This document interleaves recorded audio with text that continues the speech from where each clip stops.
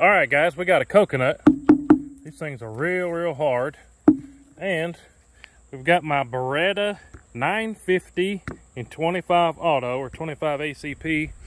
We got some 50 grain Fiocchi. Here's what they look like.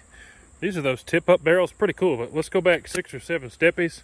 See, uh, see if we can hit that thing, see what happens. You can actually aim with these pretty good if you really take your time. Oh man, that chunk flew right back at me. That was pretty wild.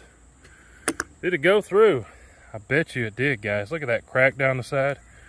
Oh, it came out the back. But, uh, yeah, 25 ACP. She's a good one. And we got two more in this thing, so let's smack some steel real quick. Oh, you gotta love that. Woo!